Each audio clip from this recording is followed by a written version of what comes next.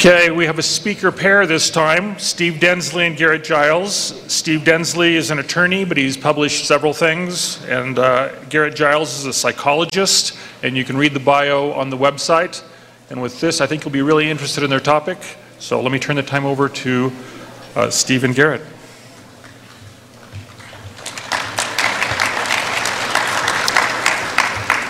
All right, thank you, Scott. Um, great to be here. Um, grateful, grateful to Dr. Giles for joining me and giving this presentation. Um, you know, I've been an attorney for 20 years, and uh, I've come to think that it's probably best for an attorney to bring a psychologist with them wherever they go. so I appreciate Dr. Giles. We've, we've uh, had a, a good time, and, and it's uh, been very informative for both of us to prepare this presentation. Um, I've been coming to Fair Mormon conferences for many years, and um, we, my experience is, especially in this group, we probably all know people who have left the church. And for many of us, that's why we're here at this conference. We may want to find reasons to uh, maybe help people not leave the church, or reasons that maybe help them come back, or maybe we just want to understand why they left. And this experience for me started probably about 25 years ago, where one of my longtime best friends left the church. This was a young man who had been married in the temple, who had gone on a mission, raised in the church, seminary graduate. And um, since that time, there have been other friends, family members, uh, members of my immediate family who have left the church.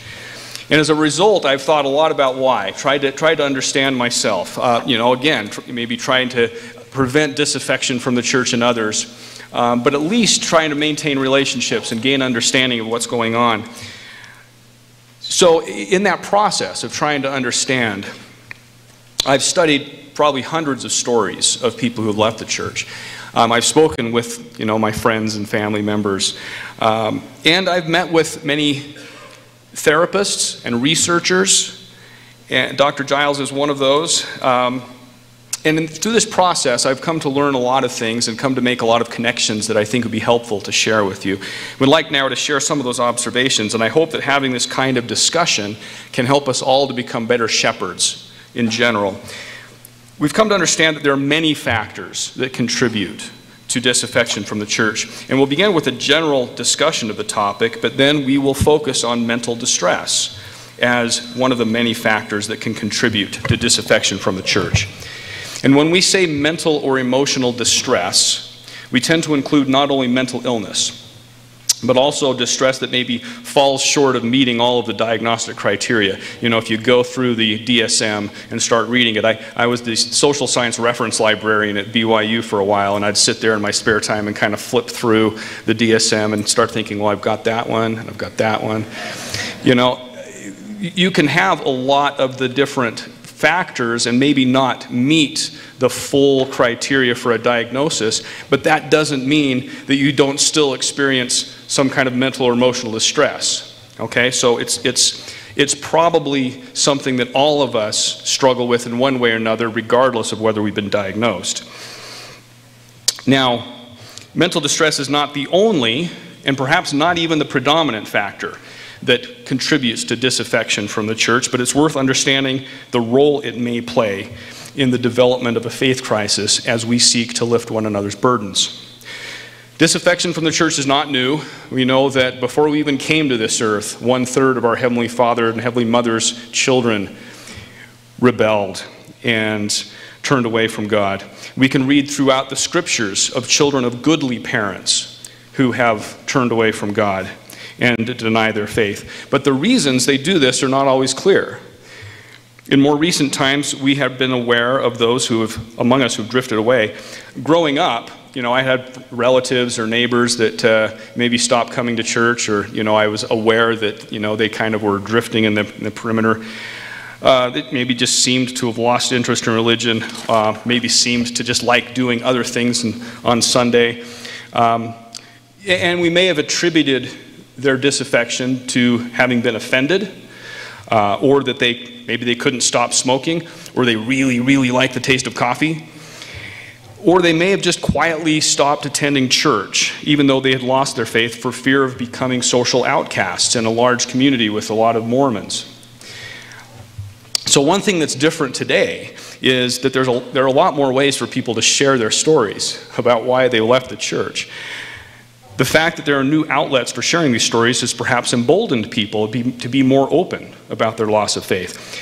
It's not hard to find a new community on the internet a community of non believers, a community with whom one can share one's story of disaffection from the church, and instead of shock, fear, and dismay, they encounter compassion, understanding, and encouragement. Therefore, in seeking to prevent disaffection from the church, it is more important now than ever that we extend compassion, understanding, and encouragement to those who express feelings of pain, doubt, and discouragement while they're still in the church.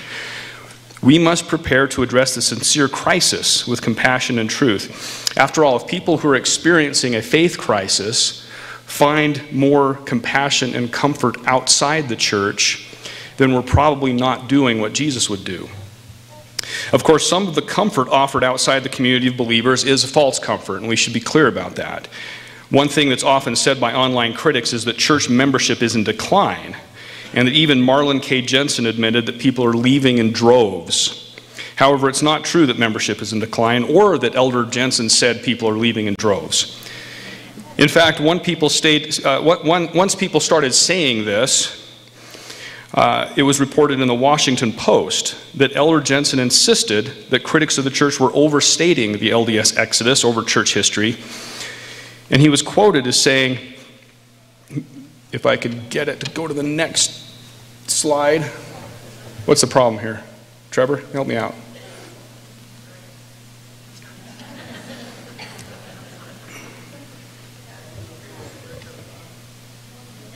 What the slide would say if it came up. There we go. To say we are experiencing some titanic wave of apostasy is inaccurate. He is, however, concerned about people leaving the church and concerned about you know, troubling information people encounter on the internet. But uh, it, it, really was misconstruing his words to say that he was saying that people are leaving in droves. In the face of growing membership rolls for the church internationally, critics of the church claim that there's actually a wave of apostasy that's simply obscured in the church's official numbers, since many people leave the church and do not remove their names from the rolls. However, this speculation is refuted by the data attendance at other predominantly white Christian churches in America is in decline. But researchers have noted, I've got to go to the next slide, that there's little evidence to suggest that the Church of Jesus Christ of Latter day Saints is experiencing similar declines.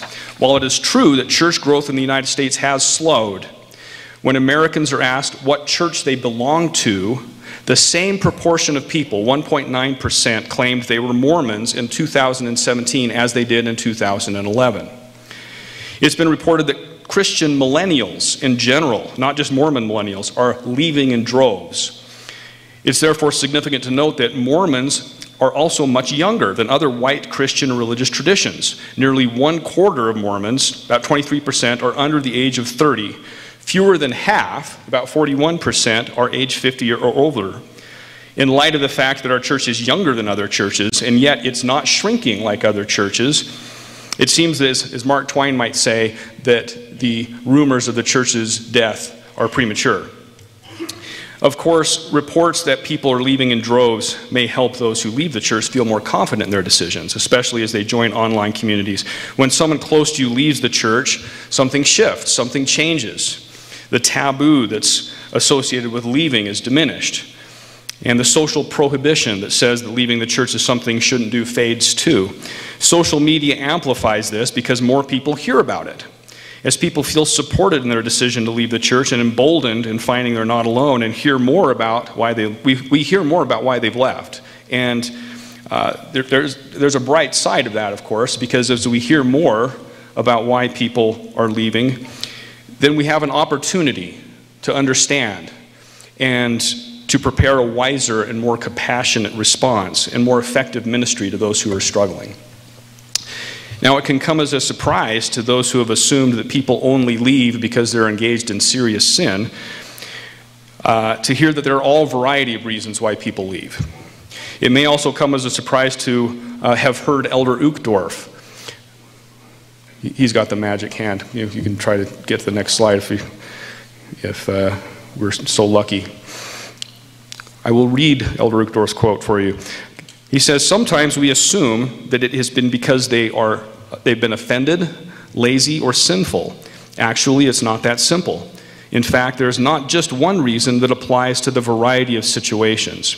In fact, when the, the Pew Forum on Religion and Public Life asked over 2,800 Americans why they left their church, why they changed religion or stopped going to church entirely, they ran out of categories.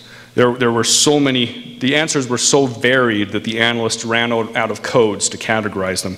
Discussions regarding loss of faith among Mormons commonly identify intellectual or social factors, such as troubling, troubling historical or doctrinal issues, or um, social or, or, cultural factors, such as feeling like they, uh, not feeling like they belonged among Mormons uh, or, or simply wanting to do other things with their time. Uh, people, there are people that literally just say that's, you know, it's not for them, they want to do something else. So there's not just one reason, but it's also true that for any one person, there are probably a complicated variety of factors that led to a, a disaffection from the church. In my personal experience of examining the stories of people who have left, I found that people often point to some incident that may have ignited a flame of discontent under them that, and, and created some kind of severe emotional pain. And when the flame is not extinguished, they feel compelled to escape. So they, they may have identified one point of doctrine or episode of church history or a policy of the church. Some have acknowledged being offended by a church leader or other member. Some have reported that due to shame or guilt, they stayed away and found it difficult to return. And of course, there are other reasons. Unfortunately, believers can sometimes be dismissive of a doubter's pain.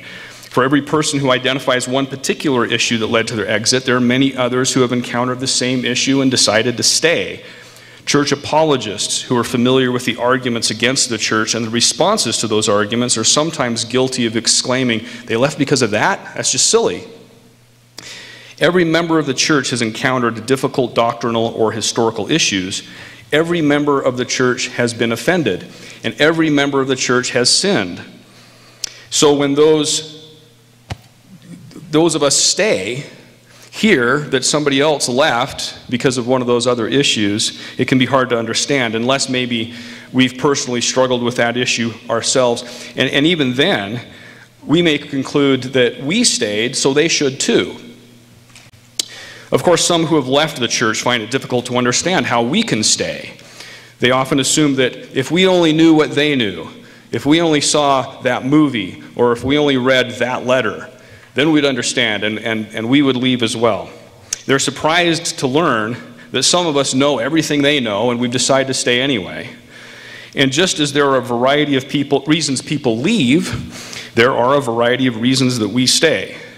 We hope that the reasons we stay may help others to see how they too can stay. However, as we are always ready to give a reason for the hope that is within us, we should do so with gentleness and respect. We should not trivialize, demonize, or dismiss those who leave. We don't embrace the apostasy, of course, but we should seek to understand and love the lost sheep, and where we can, offer comfort and compassion. And I should add, I think Fair Mormon does a very good job of this. Whether one leaves or stays, a complex set of factors is involved. Once some incident ignites a flame of discontent, various other experiences can feed the flame. For example, a person who is disturbed by some item of history or doctrine may begin to find it harder to avoid taking offense at actions of church leaders and church policies. A person who feels overwhelmed by the demands of a religion that calls on us to be perfect may stumble upon upsetting religion or issues related to church doctrine or history and maybe feels relieved at the thought that maybe it's not true anyway. A variety of social, historical, doctrinal, spiritual, and intellectual factors combine so that if a person does not feel a way to douse the flame of discontent, they will feel compelled to escape. So, along with social, historical, doctrinal, spiritual, intellectual factors, psychology may also play a prominent role in many cases. This concept first dawned on me as I searched for answers to the questions of why people close to me have been leaving the church. As I looked for common factors, and, and, and among the stories that I've read, I started to notice that uh, people would commonly comment on mental illness that they were experiencing. They didn't usually draw any kind of connection. Um, it's been unusual to see anyone draw a connection between mental illness and disaffection from religion, but um, I began to explore the possible connection and started to find an emerging body of scientific literature that helps explain how depression and anxiety disorders can possibly contribute to disaffection from the church. Let's go to the next slide.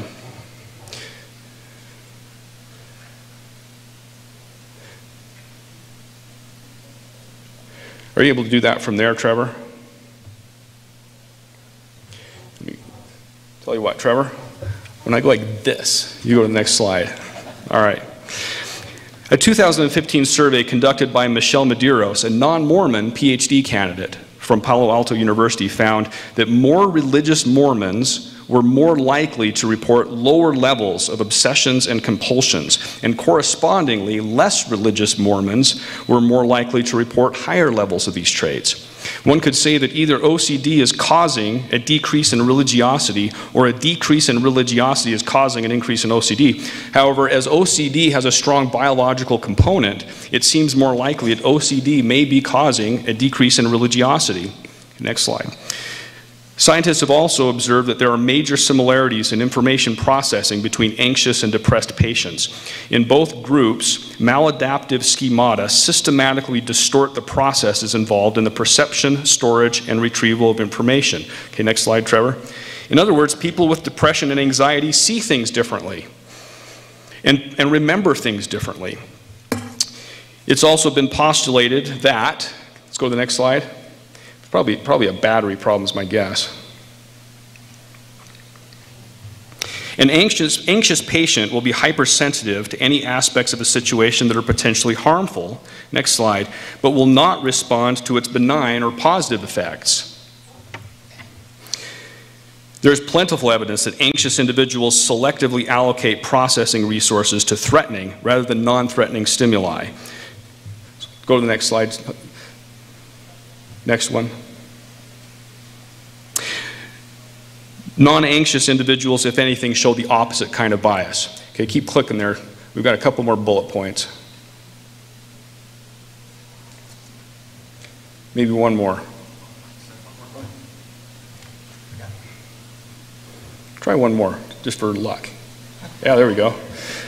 Okay, so that's a good list of uh, some of the research that we've been finding. To illustrate this point, two friends of mine who were married were burglarized on their way to church, or once they'd left a church. Somebody broke in, stole the jewelry of uh, uh, one of my uh, friends. Her husband had left the door unlocked as they went to church. Now, she ruminates on what may have happened if they had returned home uh, you know, to find a burglar there. It, it, haunts her to think about, you know, they, they left, left this, this door open. Um, and despite his wife's distress, he still doesn't lock the doors and leaves windows open. Uh, by contrast, she locks the doors whenever possible. She even locks him out when he's out mowing the lawn.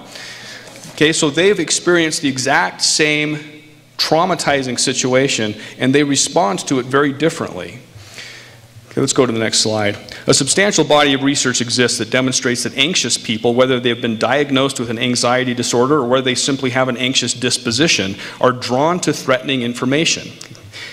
They tend to dwell on threatening information longer than others, and they tend to interpret the information in a threatening way when the information is ambiguous. Whether they experience a social phobia, obsessive compulsive disorder, panic disorder, post traumatic stress disorder, or generalized anxiety disorder, they have a harder time ignoring information they perceive as threatening. When the future is unclear, people who experience anxiety and depression tend to expect the negative and tend to expect the results to be more costly when compared to those who are not anxious or depressed. This research makes it easier to understand how two different people can experience the same information or same situation and respond to it in very different ways. Consider how this may play out when encountering information regarding church history or policies or doctrine or ambiguous social situations. An anxious person will tend to focus on the threatening information, will tend to think about it longer. And when it's open to multiple interpretations, an anxious person will tend to interpret it in a more threatening way.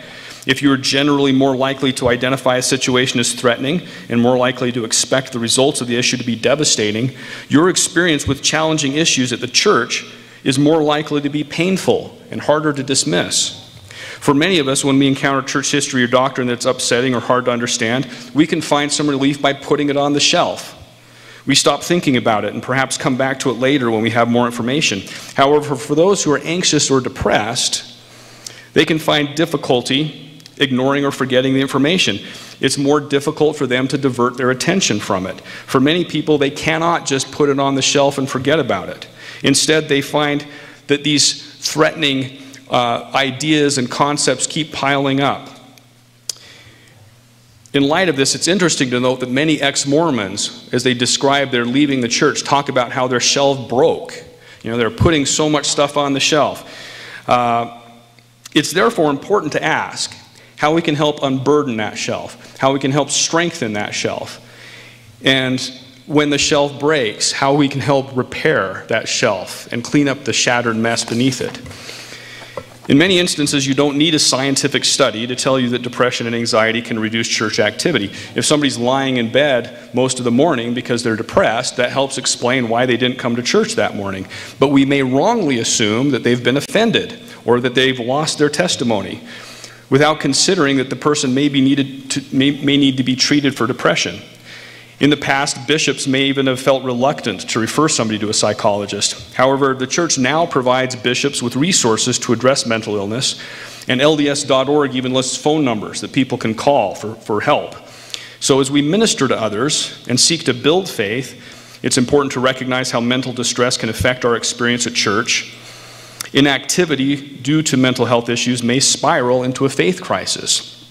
Faith comes by hearing the word. And faith grows as we nourish the seeds of faith. So faith may begin to wither and weaken when a person reduces activity in the church and isolates oneself from hearing the word. Anxiety and psychology probably impact church participation in significant numbers in ways that we may not have considered. Um, let's go to the next slide. Another interesting study. Oh, let's back up now. Where was that? Yeah, there we go. That one. Okay, now, now I'll I'll explain why you saw that earlier. Another interesting study is being conducted by Jana Riess, who commissioned a survey of 541 former Mormons to determine why they left the church. She reports that among millennials, tied for first place among the reasons they left was that they felt judged or misunderstood. This is especially interesting in light of the fact that the defining feature of social anxiety disorder, sometimes called social phobia, is intense anxiety or fear of being judged, negatively evaluated, or rejected in a social performance situation. Of course, all of us experiencing, you know, we, we all experience some concern over being judged by others. But when the concern starts to interfere with normal functioning, uh, this may have developed into a psychological disorder. This is a condition that affects approximately 15 million Americans and is the second most commonly diagnosed disorder following specific phobia, like being scared of spiders or something. The average age of onset for social anxiety disorder is during the teenage years, just the time when we notice that there are many of us that start uh, drifting away from the church. There are effective treatments for social anxiety disorders and therapies uh, and other means of treatment, but Sadly, despite the availability of effective treatments, fewer than 5% of people with social anxiety disorder seek treatment in the year following the initial onset. And more than a third of people report symptoms for 10 or more years before seeking help. Let's go to the next slide. Our church expects us to be social. We're expected to speak. We're expected to pray. We're expected to teach lessons, read things aloud, answer questions in class, call people on phone, sometimes knock on doors knock on doors of strangers and ask them if they're willing to drastically change their lives. These are difficult things for anyone to do, but they can be simply impossible for someone who experiences social anxiety or social phobia. Somebody may be sitting in the lobby during sacrament meeting because they find it difficult to be in a room with a large group of people. Someone may go home after sacrament meeting because they simply feel worn out after being in a big group of people and they need to take a break. We may wrongfully assume that they've left because they have a weak testimony and as a consequence, we may begin to treat such a person as someone who has maybe, uh, lack, maybe lacks faith or maybe who has repudiated us in our faith. so that we can start to, to feel like that uh, they've become an enemy. And if that person begins to experience a sense of rejection, they may further distance themselves from members of the church. They may seek out more supportive communities, or tragically, they may simply suffer in isolation. It's not hard to imagine how this kind of separation from members of the church and church activity can ultimately result to a loss of testimony. Similarly, a person who turns down a request to pray in church or a request to give a talk may not have a lack of faith, but may simply fear speaking in public. Let's go to the next one. Yeah, glossophobia. Uh, this, uh, as a syndrome, social phobia is the third most common psychiatric disorder with an estimated lifetime prevalence rate of 17, 7 to 13 percent. The fear of public speaking, called glossophobia, where we sometimes call it stage fright, um, is believed to be the second most common phobia, affecting as many as 75% of the population. It's said that people are more scared of public speaking than they are of dying. So if you go to a funeral, most people would rather be in the casket than giving the eulogy. Someone who experiences maladaptive perfectionism or scrupulosity may feel overwhelmed with guilt and a painful sense of inadequacy as they listen to a speaker talk about how her family reads the scriptures together every day, or how her life was changed by a ministering brother or ministering sister who came every month, or how much she enjoys going to the temple every week.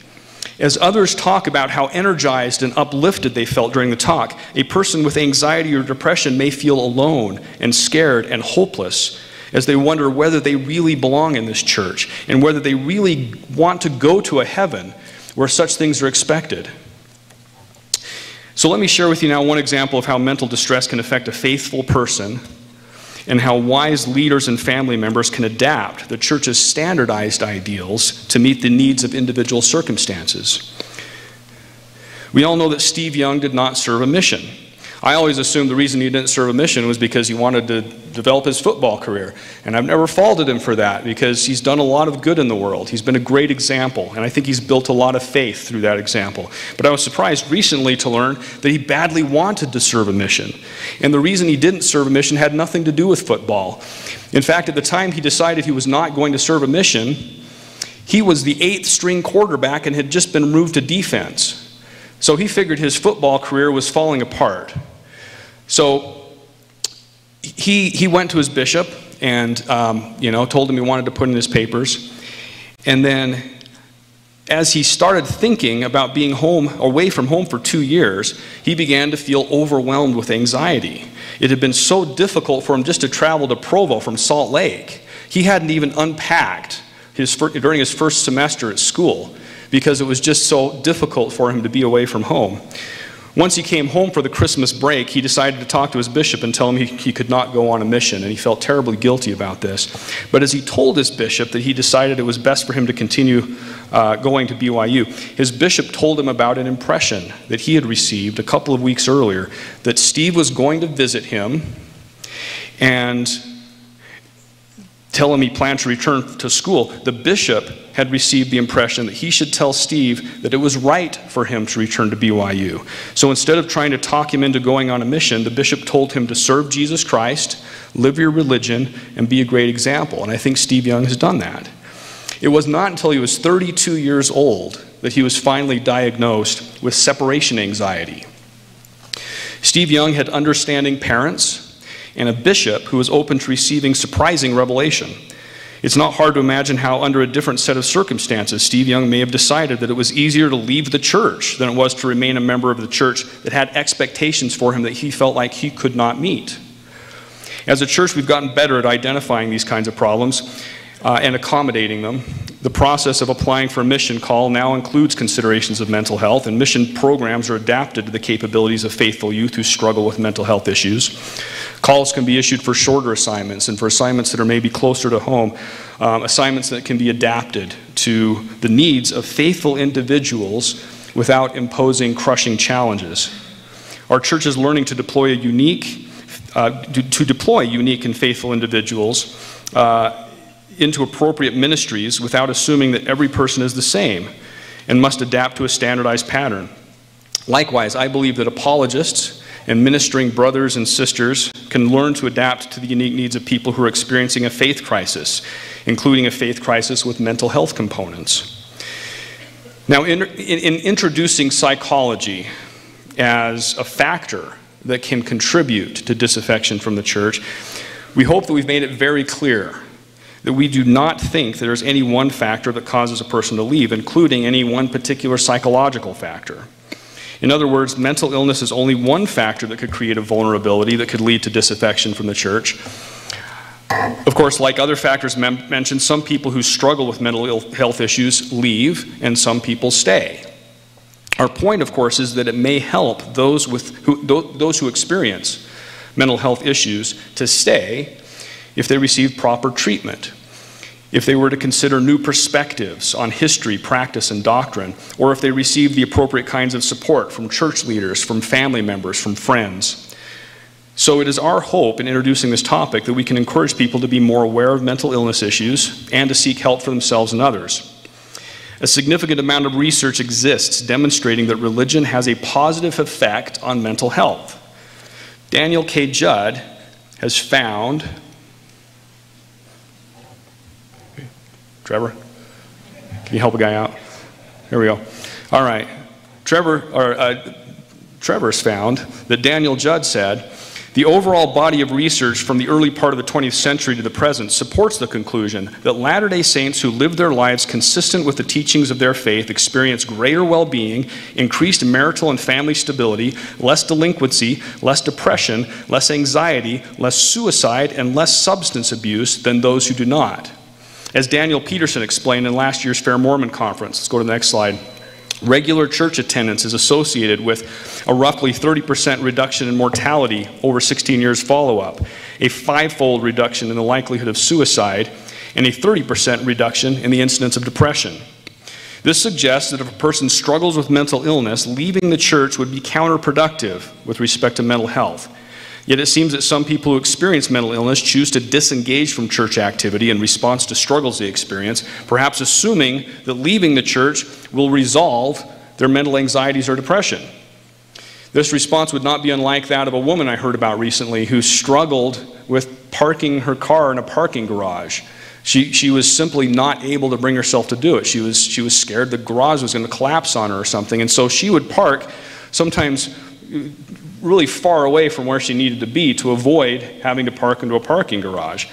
She started to seek treatment for this condition, for this phobia, and her life has become a lot more easy because now she can use that, that convenience that the rest of us enjoy. Similarly, if a person is distressed because of church activity, the answer would not be to stop going to church. Some may feel that, it, that, that the church is causing their anxiety or depression, but upon leaving, the mental illness doesn't leave. They've simply abandoned something that could have helped them. So the proper thing to do would be to seek treatment so the person is able to gain all of the social, intellectual, spiritual, and mental health benefits that come from church activity. In presenting these ideas, we do not mean to suggest that there are no issues of church history or doctrine that are confusing or upsetting, or that church members and church leaders never do anything that might be considered offensive.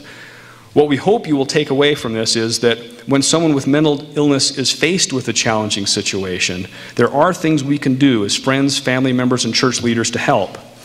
Of course, there are those who will say that we're stigmatizing those who leave and suggesting that we can dismiss those who leave as merely being crazy. We're not saying that. However, the only way to avoid the accusation would be to simply ignore the problem.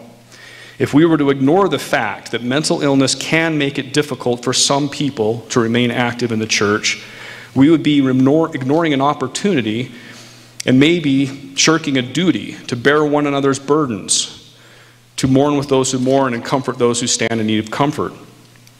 Just as there are a variety of reasons that people leave, there are a variety of reasons we can do, a variety of things we can do to help them to stay. So now I'd like to turn to a discussion of some of the key features of mental distress that can affect church activity and what friends and family members and church leaders can do and the individuals themselves to respond to the challenges posed by mental illness. See if I can do that?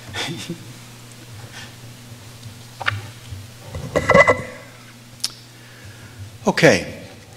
So, as Steve has already said, what we're trying to do here is to raise awareness, to try to uh, uh, put some information out there that will be useful uh, for better understanding how we can help. Um, so I want to cover some, some basic concepts first, uh, because there's no way to say exactly how to help in every situation, but hopefully with some, with some overall understanding of some concepts in terms of how mental distress tends to arrive with people, uh, that might be useful and helpful as, as we go forward. So in this section, we'll look at elements that, which contribute to mental distress, which may also block uh, religious belief and participation. And then we'll consider ways uh, the people can get help and how we can help other people who are uh, experiencing that distress. One way to understand emotional distress is to consider it through the lens of cognitive psychology, which is the basis of one of the most common evidence based treatments and also one of the most effective. Cognitive therapy says that there's a link between what we think, how we feel, and what we do. Hey, that worked. That's good. Uh, our thoughts affect our emotions, and our emotions affect our, our actions. Um, using this model, mental distress, which is uh, you know, characterized by the way we're feeling or the emotions we're having, uh, is viewed as being impacted by the way that we think. So, uh, a number of distorted ways of thinking have been identified as contributing to major mental disorders, such as uh, major depressive disorder. Go on to the next one. As we will fully explain, the cognitive distortions that contribute to mental illness can also be seen as a barrier to belief and participation in religious activities. This illustration shows that uh, mental distress is built on mental distortions, and then religious belief and participation may be negatively affected or blocked uh, by those distorted ways of thinking. For example, one common cognitive distortion is what we call all or nothing thinking. Go ahead. Uh, all or nothing thinking causes us to view the world in strict, mutually exclusive categories. So strict we can't show you. Thank you. Uh, this way of thinking contributes to depressed mood because when one categorizes one experiences as strictly perfect or ruined, that's the two choices you have, most of the time we're going to choose uh, the negative one, the ruined category. Even if things are nearly perfect, it's either all or nothing because there's no in between. An example uh, of that may be, uh, you know, someone who has, uh, who has expected that everything in the gospel is going to make sense, unless it does, then none of it is true. It's either all or nothing. Another common distortion is what we call overgeneralization. Overgeneralization causes people to view a single event as a never ending pattern. This pattern often includes the words always, never. Uh, this way of thinking contributes to depressed mood by incorrectly concluding that experience has only been of one type while overlooking the aspects, uh, the other aspects of, of an experience. A single event is not the same as a never ending pattern, but overgeneralization would have you believe otherwise. This way of thinking may affect religious belief and participation by inaccurately assigning frequency to religious experience. For example, uh, when an answer to prayer is slow in coming, a person may conclude that they never get answers to prayers and may stay, stop praying entirely. Mental filter is another common uh, cognitive distortion, causing people to pick one aspect of a situation and make that the focus of their attention while ignoring and filtering out any other parts of that same experience. This way of thinking uh, contributes to depressed mood by only orienting to one aspect of the given situation, and usually it's the negative or unfavorable aspect. Um, an example might be when a person focuses on one unkind thing that was said or done to them at church while uh, ignoring or filtering out the other uh, kind things that have been done to them there. There are other types of cognitive distortions, but the main point uh, that we want to make here is that mental distress is sometimes significantly fueled by cognitive distortions. And such distorted thinking can also be a barrier to uh, religious belief and participation. Fundamental to mental distress related to anxiety is the idea of intolerance of uncertainty or fear of the unknown. Those who struggle with anxiety tend to have higher intolerance of anxiety. And that's manifest by persistent thoughts about the unknown of a particular situation. They, they pay attention to that because that's the thing that's threatening to them. But they, because it's unknown, they never get any conclusions. They never get, any, get anywhere. They just continue to get more and more anxious. Dwelling on the unknowns is a surefire way to increase anxious feelings. In other words, focusing on the unknowns rather than the knowns will create mental distress. In the words of the French philosopher Michel de Montaigne, he who fears he shall suffer already suffers what he fears. Anxiety may also arise when new information conflicts with old. This conflict may make it unclear about how to proceed um, and result in inconsistent thoughts, attitudes, or beliefs within the person. Such internal conflict is often referred to as cognitive dissonance. Cognitive dissonance may cause us to choose from the following responses. We may, we may reject the, uh, the new information as false. We may consider the new information as unimportant. Uh, we may just suspend judgment on the new information uh, completely, put it on the shelf, kind of like what, uh, what Steve had said earlier, uh, or accept or reject the new information, but with greater understanding of context and definitions, or we may just re re reject the old information entirely in favor of the new. Uh, for example, uh, uh, and we may do that because we're looking for relief. We're looking for some way to, to resolve the cognitive dissonance that we have because anxious people have really difficult time suspending that or prolonging that sense of dissonance. It's, it's, it's very uncomfortable and distressing to them. So, for example, uh, when faced with new information, uh, a person might, uh, might instead, of, uh, instead of taking the time to adjust one's former expectations about uh, what they expected from church history and doctrine, uh, they might just decide that the church is no longer true in order to quickly resolve that anxiety or that conflict that they have within themselves. Besides creating depressed or anxious mood, these distortions can also make it difficult to focus on the more subtle, influence of what we call the still small voice, and thereby creating a sense of distance or isolation from God and communication with Him, which may be erroneously interpreted as, as that God isn't there or, or God doesn't care, uh, instead of uh, being more accurately seen as distorted thinking getting in the way of that relationship. In summary, then, cognitive distortions contribute to mental distress. Those distorted ways of thinking affect our mood. Cognitive distortions may also serve to understand the process of religious belief and participation by creating distorted ways of thinking, which make it difficult for us to uh, process new information and, and reconcile it with the information that we already have. So let's move and talk a little bit about what people can do. Um, so when a person is experiencing mental distress, what can be done? Uh, how can that person be helped? In this section, we'll consider what can be done by the individual, by friends and family, by the church, and church leaders. And uh, finally, we'll talk about the prospect of professional help. It's useful to think about helping people with mental distress in three concentric circles. In the center is the self. Um, the responsibility for overcoming mental distress rests with the individual ultimately. Uh, unless the individual is motivated and engaged, very little progress can be hoped for. Uh, but the, and the next concentric circle is that of family and friends.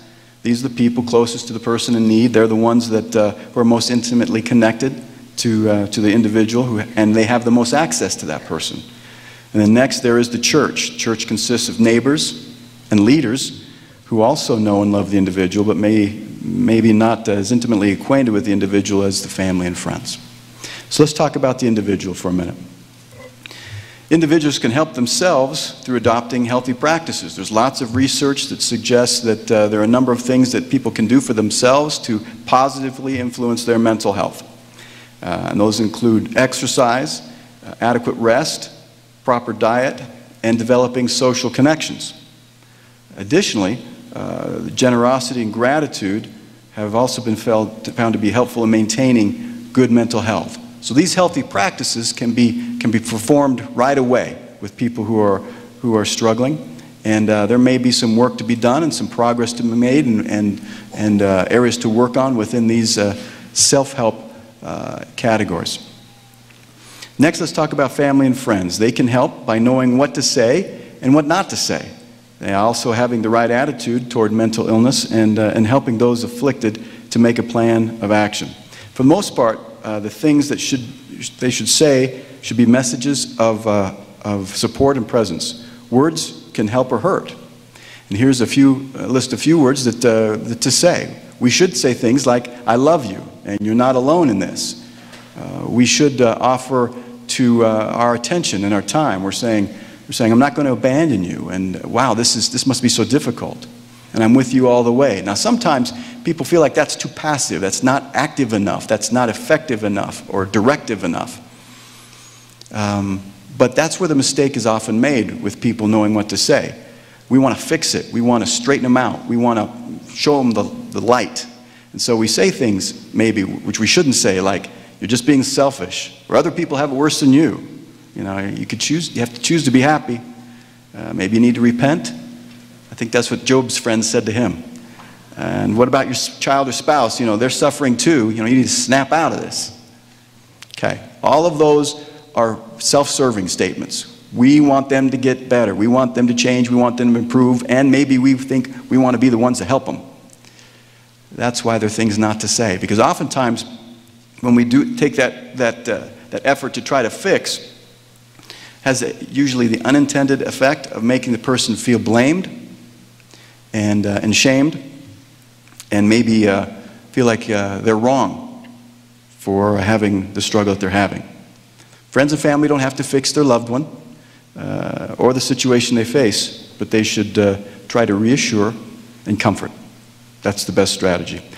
There's no way to list all the things you should say or not say or, or do with someone with emotional dis- distress, but there are some attitudes to cultivate which, when followed, uh, will give you some ideas about what to do. Uh, emotional distress is a real thing, and depression and anxiety are legitimate medical conditions. So, so uh, uh, treating it as such is an important first step. If we were in a major auto accident, we might have bandages and bruises and casts and braces, and, uh, and that would verify or validate that we are actually injured. Emotional distress is different than that. There's, sometimes there's no outward signs. Um, but it's every bit as debilitating sometimes as a physical injury, a physical accident. So it's real. It's important to recognize that. It's also important to be patient with the person struggling with emotional distress and with the process of recovery and healing. There, there, there may be setbacks. That's common. Rarely is the, is the slope of improvement straight and perfect. It's up and down. And uh, factoring that in and anticipating that is important for those who want to be helpful to those who are struggling. Communication is also very important to develop and maintain understanding among those family and friends. Uh, feel free to ask questions and make observations with your loved one who's, who's struggling. Share your thoughts, share your feelings, and ask them to do the same. Have an open dialogue with them. Some days are going to be better than others for the person who's struggling and for yourself as someone who's, who's compassionately trying to, to be there for that person. And sharing and talking about that will be good for both of you. Asking them about their thoughts and feelings, you, know, you may be surprised about what they have to say and when they say it. Accommodation and adjustment are powerful ways to show support. Creative problem solving with humor and goodwill has the potential to say, I love you and I'm here for you. Uh, and those can be very, very powerful for a person who's struggling and sometimes feels alone in their struggle. We wouldn't be helping very much if we allowed our loved one to avoid every distressing situation. But uh, if we're resourceful and, uh, and with good intention, we can help them meet the challenges of every day. Prior to meeting the challenges of every day is helping to, or part of meeting the challenges of every day is to help them develop a plan of action which includes education, self-care, and the use of available resources. Knowledge is power, and uh, becoming knowledgeable about the condition they find themselves in will help everyone know better what to do. So we want to ask, what do I need to know? And where can I go to find it? We live in an age where uh, there's lots of information out there, and, uh, and there's, we can find the information we're looking for, when, particularly when it comes to mental health. There's lots of great resources out there. Uh, Self care has already been covered. We talked about it, and, and, and so did Steve. But uh, that's essential to feeling better emotionally. Um, and so uh, we want to do things like uh, create those uh, basic building blocks consisting of rest and fuel and, and healthy habits those are important for, for being able to build good emotional health. We can't provide self care for the loved one, but we might be able to find ways to support or encourage their efforts to do that for themselves. And then also, uh, we can help identify available resources that can be found through, uh, through family support, um, church leaders, and the priesthood, and then the blessings associated with temple worship. And then also, we, there might be uh, resources available through healthcare. These are all areas that we can help them think through so that they can figure out uh, what they can do and how best to do it for themselves. And that empowers them as well. Next, uh, the church can uh, also help through the doctrines that exist in the church, the opportunities for activity, through church service, and then also from shepherding, from church leaders. These three areas contribute positively to alleviating mental distress. President Boyd K. Packer stated that true doctrine, understood, changes attitudes and behavior. President Packer lists two of the three elements that I mentioned earlier of cognitive psychology. Uh, he mentions uh, ch attitudes changing and behavior changing. We call that thoughts and actions. He calls it attitudes and behavior. Now, if attitudes and behavior can be changed by true doctrine, then it's reasonable to conclude that feelings also can be changed by doctrine. Some interesting research has been done that found that to be the case, that true doctrine does change feelings. Steve, uh, Steve uh, referred to some of this already, but uh, one study of LDS people found that uh, believing God is a loving God, which is a true doctrine, contributed to limiting or reducing anxious traits in those who held that fear. Um, or held that belief, sorry, that's not a fear. It was, uh, and that was, it was found that those who, uh, who hold the view that God is less loving or more controlling than was commonly taught by LDS doctrine were more likely to endorse more serious or frequent anxious traits. Uh, other research has found that increased views of the lovingness of God were most strongly related to reduction of emotional symptoms in LDS people. In other words, subscribing to the LDS doctrine that God is our Father and is perfectly loving appears to have the effect of reducing mental distress. Not surprising, but still good news. Uh, similarly, other researchers have found that, uh, that those who reported having an experience confirming the doctrine of God's grace, which we had we just talked about with Brad Wilcox, tremendous message there, talking about uh, favor and compassion as meanings of the word grace. That the doctrine of God's grace, as taught by the LDS Church, has a positive relationship with the person's mental health. That means the more they believed that that was the way things were, grace uh, as, a, as a way that we relate to God, then uh, their mental health was better. Those who had more of a uh, legalistic view of God's de dealings with his children, that correlated with, with lower mental health. Go ahead, next slide. So this, this, uh, this graph I'm about to show you shows the stark difference between scores in shame, anxiety, and depression between LDS members who view God through a construct of works being the most important. We call that legalism. You're on your own, you're going to have to suffer the consequences sort of approach. That's legalism. Uh, and those who view grace as the most important. As you can see, those with the legalism outlook, that's the lighter bars, uh, have noticeably higher scores on the shame, anxiety, and depression scales that they used for this research than did members with the grace outlook. The grace outlook, their scores on shame, anxiety, and depression were lower and almost the same, the same amounts. That's, uh, yeah, that's research from, from Daniel Judd, which I think, which, which was in uh, Educational Re Religious Education Review in October 2018. Um, these findings should come as no surprise to what, from what we just talked about and heard from, from Brad Wilcox. Uh, associating with the church also brings uh, opportunities for church activity. Activity in the church uh, brings social connection through serving others, teaching and learning from others, and working toward the common goal. Uh, as mentioned earlier, social connection also reduces mental distress. So activity in the church gives us opportunities in all those ways, which are, which are positively correlated with mental health.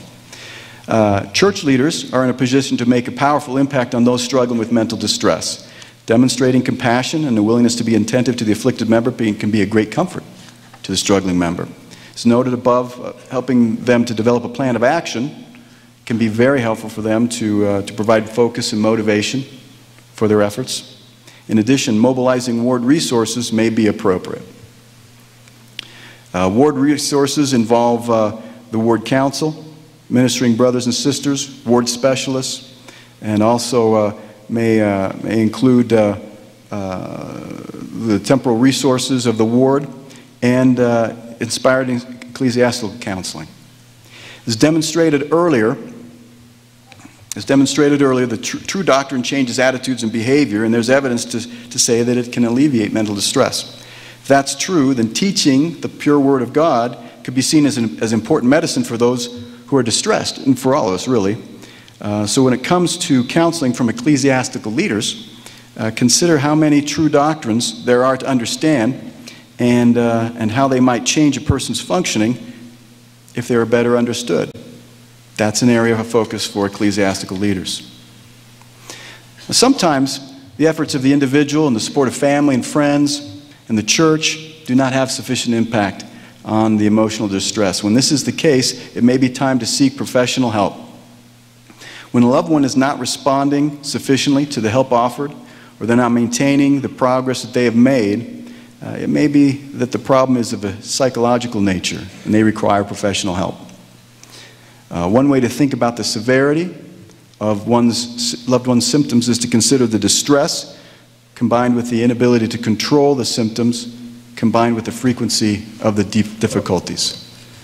And as those raise higher, that means the, the severity is higher, and at some point that may be appropriate then to refer to professionals because this might be a psychological problem rather than uh, something that's, uh, that's, that's not. Um, for most of the mental disorders, uh, the research is clear that uh, professional counseling is an effective treatment. For depression and anxiety, counseling and medication appear to be equally uh, effective, but for some people, the combination of, of, uh, of counseling and medicine might be more effective than if they were done separately. Uh, cognitive behavioral therapy, which focuses on the link between our thoughts, feelings, and actions, is one of the most common evidence based therapies for depression. It's also one of the most effective. Good job, cognitive behavioral therapy. In recent addresses, Elder Holland has discussed his struggle uh, with, with emotional distress. Clearly, the fact that one experiences anxiety and depression symptoms does not mean that one cannot fully participate or that one can significantly contribute in the church. Uh, he said, if things continue to be debilitating, seek the advice of reputable people with certified training, professional skills, and good values. Be honest with them about your history and your struggles. Prayerfully and responsibly consider the counsel they give and solutions they prescribe. If you had appendicitis, God would expect you to seek a priesthood blessing and, and then get the best medical help available. So, too, with emotional disorders. Our Father in heaven expects us to use all of the marvelous gifts He has provided in this glorious dispensation. We've talked about mental distress and the potential it has to affect uh, religious beliefs and participation.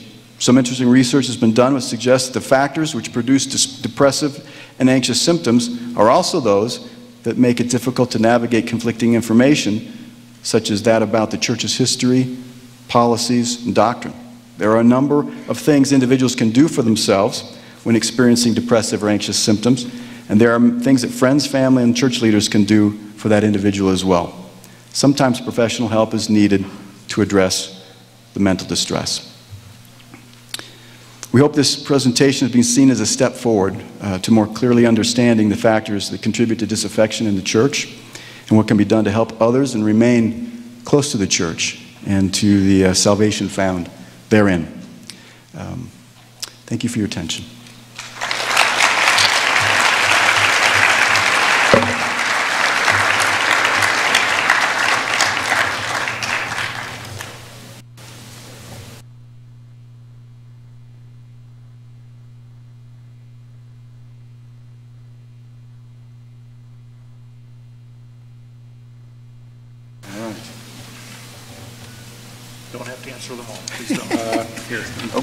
There's one for you. Okay.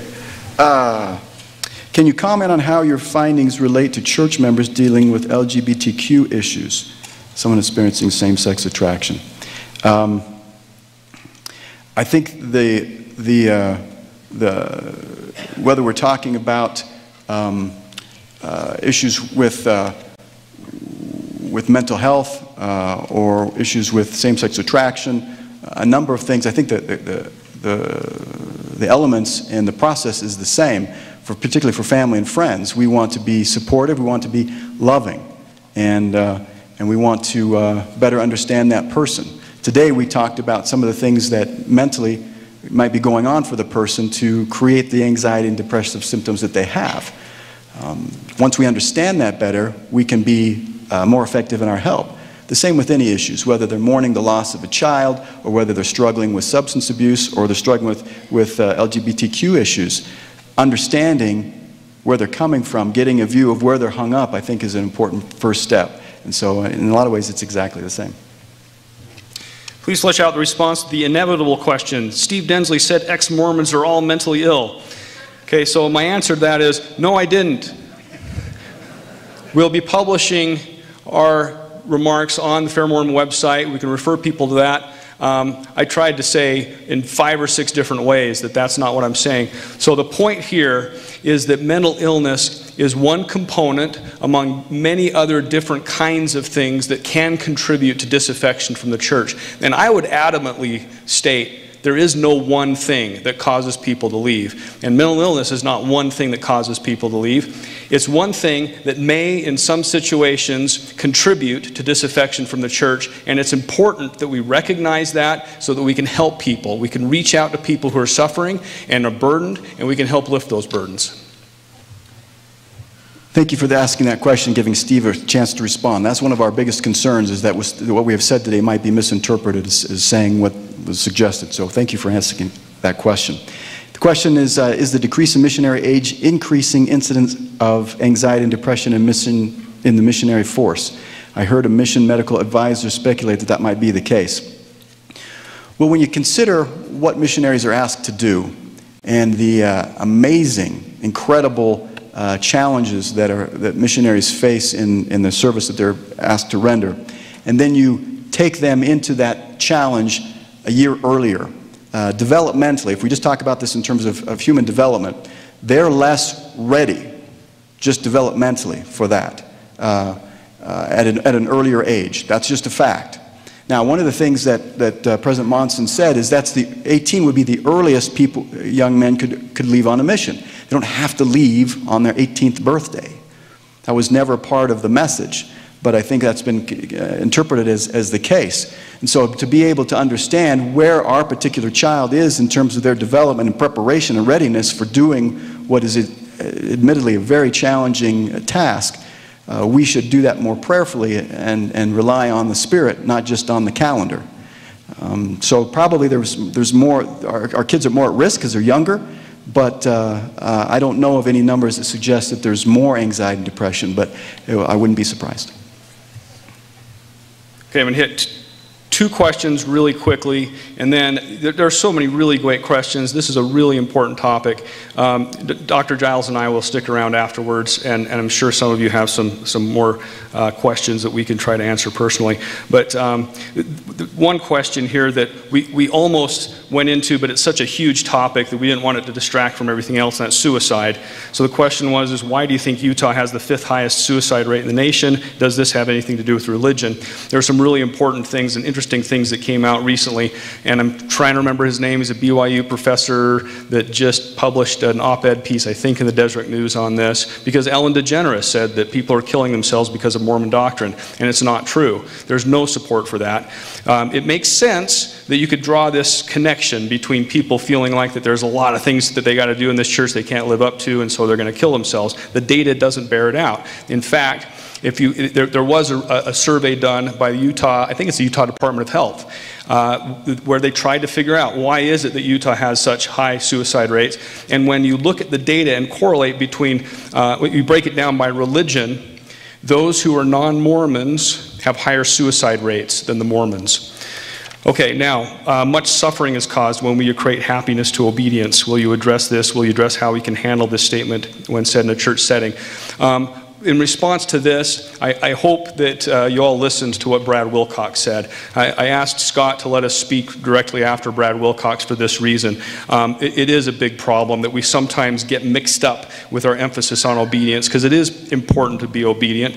Obedience does bring us happiness, um, but we uh, should not feel like that if we're not strictly obedient, that we've somehow, somehow are lost souls and that there's no hope for us. The hope is provided through the grace of Christ. and that the purpose of the obedience is not to try to figure out who is it that gets in and who doesn't. The purpose of commandments is to help us to understand how we can become Christ like and how we can become more happy. Um, and Brad Wilcox has got a whole bunch of books out there on the table, and I'd, I'd refer them all to you. I think that they're great.